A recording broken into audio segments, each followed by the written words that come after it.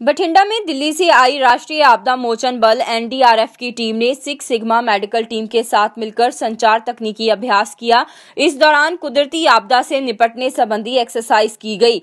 इस एक्सरसाइज में तकरीबन 150 एनडीआरएफ के जवानों ने भाग लिया, जिसमें दिखाया गया कि टीम भूकंप, बाढ़, सैलाब आदि जैसे हालातों में कैसे जान जोखिम में डालकर लोगों की मदद करती है। हम लोग ये ज्वाइंट एक्सरसाइज कर रहे हैं एनडीआरएफ और सिक्स सिग्मा के साथ मिल करके ताकि हम लोग डिजास्टर के समय एक दूसरे की स्ट्रेंथ बन सकें एक दूसरे के साथ मिल के काम कर सकें क्योंकि हिंदुस्तान जो है ना ऐसा है कि इसमें 50 परसेंट एरिया हिंदुस्तान में डिजास्टर प्रोन है। जहाँ पर अर्थक्विक फ्लड एवलांच आते रहते हैं। तो ऐसे में आ, हम लोग प्रैक्टिस करते हैं कि train hard and fight easy तो ये डीजी एनडीआरएफ की तरफ़ से और सिक्स सिग्मा की तरफ़ से ज्वाइंट एक्सरसाइज है जो कि तीन दिन की एक्सरसाइज है। और इस एक्सरसाइज के दौरान हम लोग लोगों को मेडिकल रेस्क्यू कैसे करना है, डिजास्टर में कैसे काम करना है, किस तरीके से लोगों को रेस्क्यू करके लेके आना है, और क्या क्या प्रिपरेशन एडवांस में होनी चाहिए, और उस टाइम पे क्या क्या प्रिपरेशन होनी चाहिए, इसके बारे में हम लोग एक दूसरे के साथ मिल करके ज्वाइंट एक्सरसाइज कर रहे हैं।